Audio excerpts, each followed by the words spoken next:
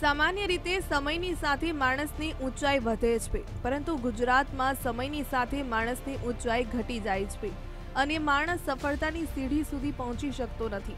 તમને અહીં કંઈક અજુગતું લાગતું હશે, પરંતુ તે અજુગતી વાતનો જીવિત પુરાવો અહીં ઊભેલા નોકરી વાછુક પરીક્ષાર્થીઓ છે જેમની ઊંચાઈ ઓછી હોવાને કારણે તેમને શારીરિક પરીક્ષામાં નાપાસ કરાયા છે પરંતુ નવાઈની વાત તો એ છે કે આ પહેલા પોલીસ વિભાગની આવેલી પરીક્ષાઓમાં આ યુવાનોએ શારીરિક કસોટી પાસ કરી હતી. તે સમયે તેમની ઊંચાઈ એકસો સેન્ટીમીટર હતી અને હાલના સમયમાં પણ તેમનો માપદંડ એ જ છે. તેમ છતાં અગાઉની પરીક્ષા પાસ કરેલા આ પરીક્ષાર્થીઓને આ વર્ષે નાપાસ કરવામાં આવ્યા છે.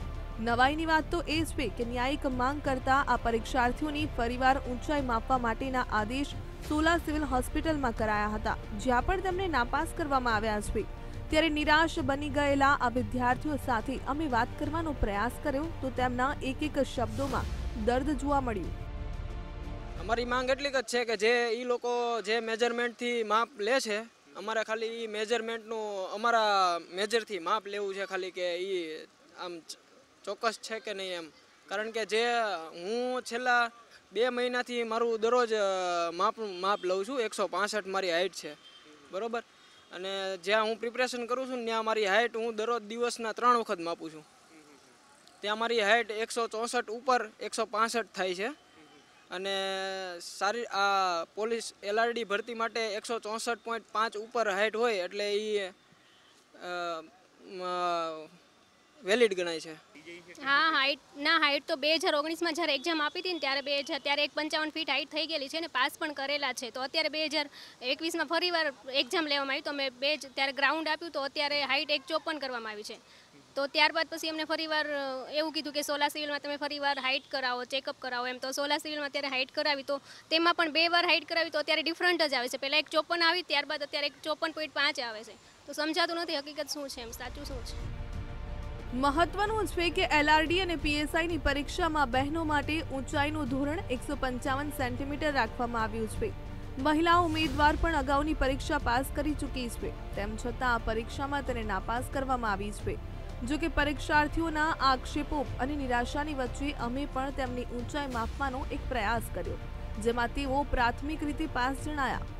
પરંતુ એલઆરડી પરીક્ષામાં જે માપપટ્ટીથી ઊંચાઈ મપાઈ છે, એમાં વિદ્યાર્થીઓ નાપાસ જાહેર થયા છે.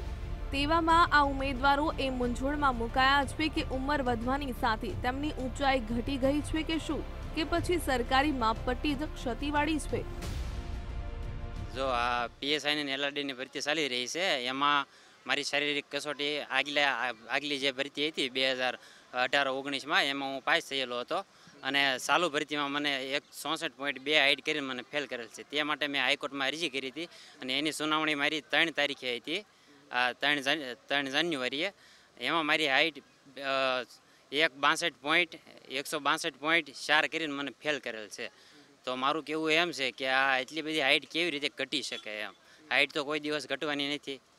તો મારી એ એ જ અપીલ છે કે આ જે હાઈકોર્ટનું જે માપ છે એ સરખી રીતે અમને તપાસી દેવામાં આવે. અહીં સવાલ એ થઈ રહ્યા છે કે જો ઉમેદવારોની ઊંચાઈ પૂરતી ન હોય તો પહેલાની પરીક્ષામાં તેઓ પાસ કેવી રીતે થયા? પરીક્ષામાં ઊંચાઈના માપદંડ પહેલાની જેમ સમાન છે તો પછી ઉમેદવારોની ઊંચાઈ કેવી રીતે ઘટી ગઈ? શું પોલીસ ભરતીમાં પણ આવી રીતે યુવાનોની સાથે અન્યાય થાય છે? શું પોલીસ વિભાગની માપપટ્ટીમાં કોઈ ફેરફાર થયો છે? સવાલો અનેક છે. તેમાં જોવાનું એ રહેશે કે આ યુવાનોને ન્યાય મળે છે કે પછી અધિકારીઓના અહંકારમાં તેમની સાથે અન્યાય થાય છે. કેમેરામેન પ્રવીણ વાઘેલાની સાથે નરેન્દ્ર રાઠોડ, વીટીવી ન્યૂઝ, અમદાવાદ.